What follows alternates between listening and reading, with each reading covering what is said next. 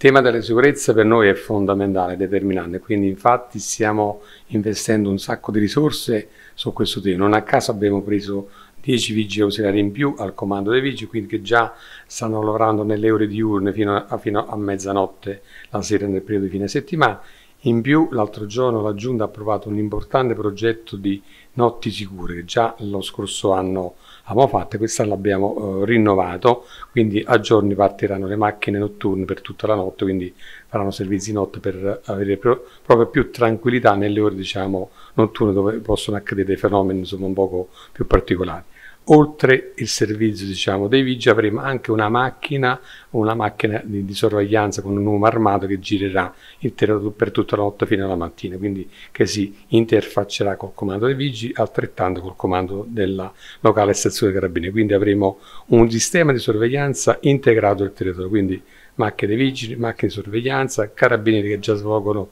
un eccellente lavoro di controllo sul territorio, quindi eh, facciamo in modo che il territorio venga davvero controllato in maniera capillare. Oltretutto a tutto questo si aggiunge anche il sistema di videosorveglianza che, che altrettanto stiamo implementando. Non a caso adesso metteremo altri varchi con la lettura di targa, così avremo dire, certezza di coloro che transitano sulle strade, nei varchi principali, sia nelle entrate che nelle uscite di Castellabate, proprio per tenere sotto controllo eventuali, eventuali diciamo, soggetti che arrivano qua in macchina insomma, e che creano qualche difficoltà di notte specialmente. Tenuto conto che Castellabate ha soltanto uh, 11 vigili in pianta stabile, quindi aggiungere altri 10 vigili d'estate vuol dire insomma implementare seriamente il servizio, oltre ripeto, i servizi notturni che andremo a fare. Ripeto, per noi la sicurezza è un tema fondamentale, importante. Chi viene qua, eh, il turista che viene, è il residente che abita già Castellabate, deve, deve poter contare su questi uomini. Castellabate nel, nel estivo vanta di tantissime presenze, ovviamente quindi la percentuale diciamo, di, di qualche problema può aumentare e questo, ripeto, deve essere un deterrente forte e sicuro per tutti coloro che, che stanno qui a Castellabate. Sindaco, siamo ormai quasi alla fine del mese di luglio. Se dovessimo fare un bilancio parziale di quest'estate a Castellabate e quali saranno le future novità che vedremo appunto implementate nel comune?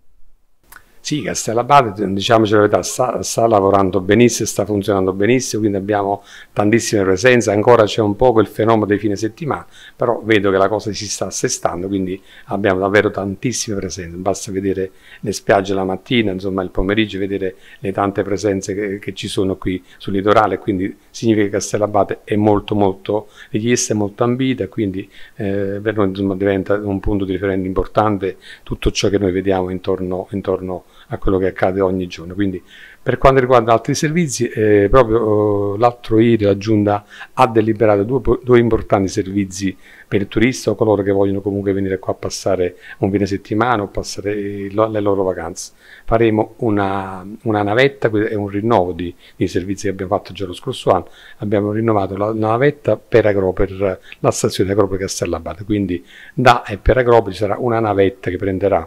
eh, le persone che arriveranno in treno le porterà a Castellabate e viceversa li porterà quando dovranno partire. Quindi avremo un servizio dedicato alla stazione di Acropoli Castellabate. Un altro servizio altrettanto importante, sempre rinnovato rispetto allo scorso anno che avevamo già fatto, è il servizio navetta notturno che, eh, che, collega il centro storico con le marine, quindi con le frazioni giù, Santa Maria, San Marco e le frazioni insomma diciamo eh, giù. Con questo servizio le persone potranno evitare di prendere la macchina, quindi eviteranno ingolfamenti di, di, di traffico, avranno diciamo, molta più libertà di movimento. Quindi è un servizio sul quale noi abbiamo già puntato lo scorso anno e quest'anno, l'abbiamo rinnovato.